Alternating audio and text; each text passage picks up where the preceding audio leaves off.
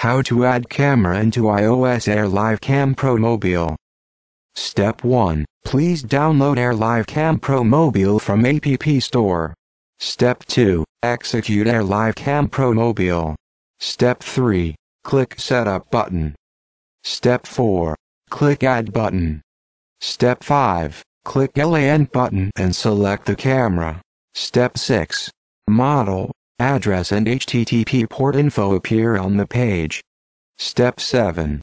Key in username and password then click Save button. Step 8. Click Back button. Step 9.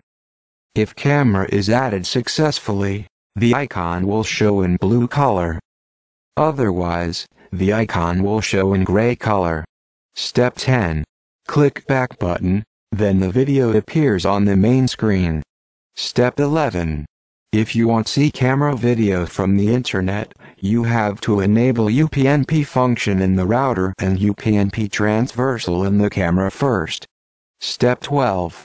To change local IP address to public IP address, please click Setup button. Step 13. Click IPCam1 camera. Step 14.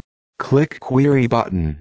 Step 15. Camera public IP address and HTTP port info appear on the page. Step 16. Click Back button, then you can see the video from the internet.